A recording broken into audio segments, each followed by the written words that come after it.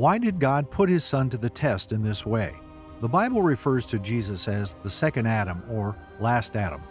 1 Corinthians chapter 15 verses 45 through 47. And so it is written, the first man Adam was made a living soul, the last Adam was made a quickening spirit. Howbeit that was not first which is spiritual, but that which is natural, and afterward that which is spiritual. The first man is of the earth, earthy. The second man is the Lord from heaven.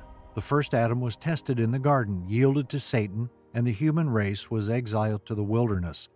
The second Adam went into the wilderness to defeat Satan so that he could lead us back to the garden.